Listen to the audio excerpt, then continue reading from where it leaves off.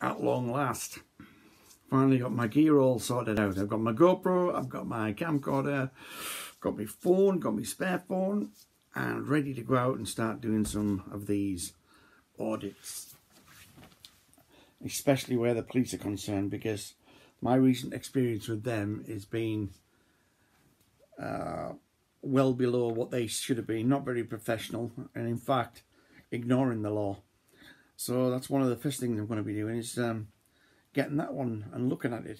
I've looked up a lot of stuff while I've been waiting for all my gear. And I've realised that there definitely is a lot of police that redefine laws. They define the laws for themselves to make it fit. And that they're doing things not only in America badly, but in the UK it's getting like that too. And as far as I'm concerned, that's a big no-no. It has to stop. You know, that I mean, one of the things that first thing to be thinking about is it's the police and the authorities. They think that we actually can't govern ourselves. That we have to have law and order to have order. And yet that's not the way it is. We should and could and do manage to keep ourselves in check. We don't need the police for that. Because, I mean, the police in the United Kingdom now, they're just basically tax collectors. And they're all for the corporate businesses. You go and start videoing outside of, uh, so, uh, recording outside of a business, on anywhere near a business in the UK, and they'll phone and they'll complain, and the business will say, we don't want them there. The police will come out and try to move you, especially if you're not on public land. But if you're on public pathways, they don't want you there. They want to move you because they work for these big corporations. When you think about it, you know, when when the world's run by financial gain and economists, um, you can't expect the police to actually. I'm sorry, I'm just getting some stuff through on YouTube.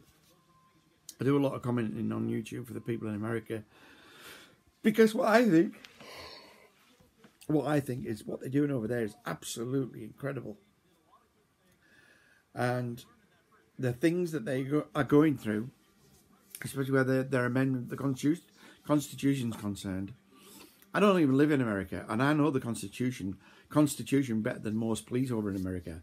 And those ones that want to define, redefine it, that it fits their little way of getting at you, or arresting you, or detaining you, or just simply being a bully and a thug, then that's what they'll do to try and do what they've been doing for such a long time in America. You know, you see these you see these movies from way back, and it was like these little hick towns.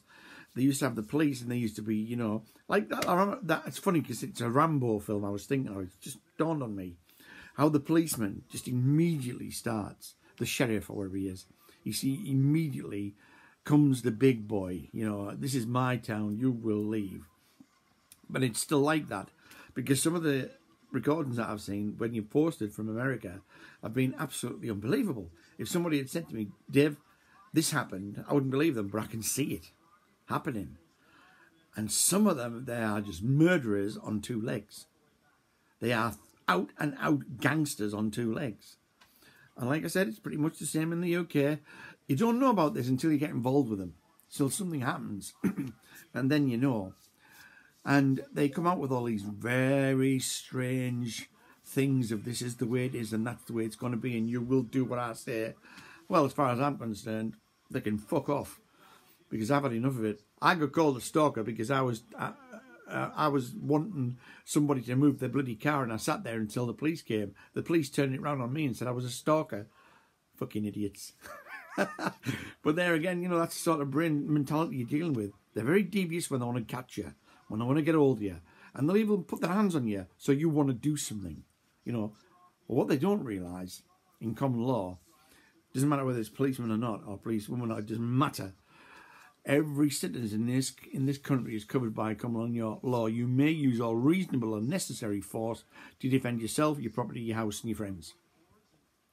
So, this comes down to in America, it's slowly because I, I, keep forgetting how big America is and how many um, stations there is. You know, different subdivisions and stuff like that. Because in, in, in the UK, it's it's just a lot smaller.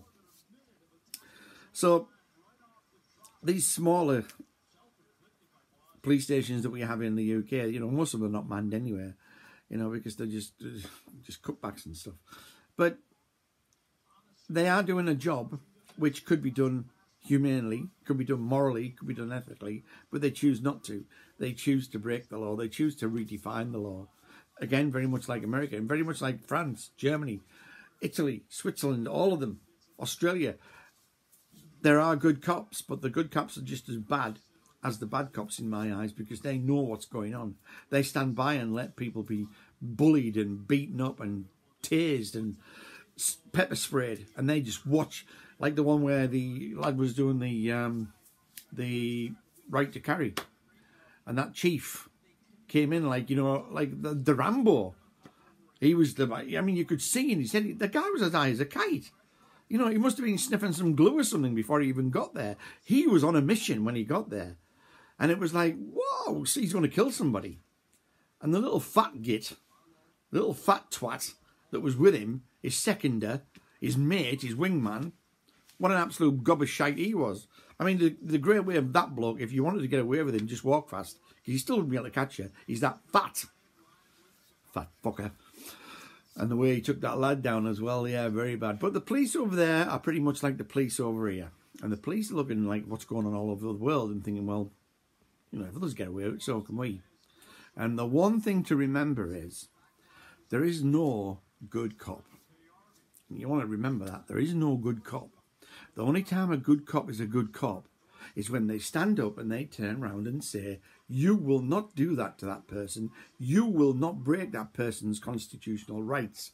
That is a good cop. When he can turn around and say to his partner or somebody else when he's come to another scene of something, he sees this going on and he turns around and say, Stop it. You're under arrest. That's a good cop. That's a good cop. I've not seen it yet. I've heard of cops having to go to other cops because they've been shagging their wives and they've reported them about doing this and doing that and trying to get them the sack. But I've never seen a good cop go up and say, nah, I won't accept this. That's the constitutional right of that person. And it's the same in the UK. That's your right of the Bill of Rights. We've got this Bill of Rights, which is where the Constitution came from. And all these things over in the, the, the, the world where the Bill of Rights was taken as a template. And yet, one of the things that's done against people in this country is the total ignorance of the Bill of Rights, the total ignorance of the law, the sheeple, basically. But anyway, I've got off on one there. So hopefully, I'm going to get in touch with a few people and, and try and get out and do a few uh, audits and just get some experience going because I need to get the experience going so I know what I'm saying. And that'll be in the first fiscal and then I'll get sorted by then. But anyway, for everybody in America, I am so, so proud. It's astonishing that you, you do that. And they've got all guns and it's like, I'm just like, what? To us, guns are very strange unless you're at an airport or unless there's been a gun incident. Anyway, I'm ranting. Um, I'm, I'm waffling on. Anyway, for all those people in America, my biggest respect goes out to you. And for the people in England that I know, or the United Kingdom, then I'll hopefully get out on some audits with them, hopefully starting next weekend. So anyway, doing great, guys. I really appreciate it. I'm on the YouTube every day watching all the stories and sitting here just gasping at the, the courage that you have, especially at night. Anyway, keep going. Keep the keep the keep the, the fire burning. It's needed. And we'll get rid of these cops that aren't good and these institutions that aren't good and replaced with decent people. One thing, most of the police who do get who turn into policemen, I think most of them start off well and with good intentions, but then the 300,000 and the 400,000 salaries they get every year twists them and the, the salary becomes more important than the constitution, than a right. And that's where they fall down. And that's where it all falls down. Anyway, bye. See you again. Toodle bit. Halfway to Zen. Hello, bye now.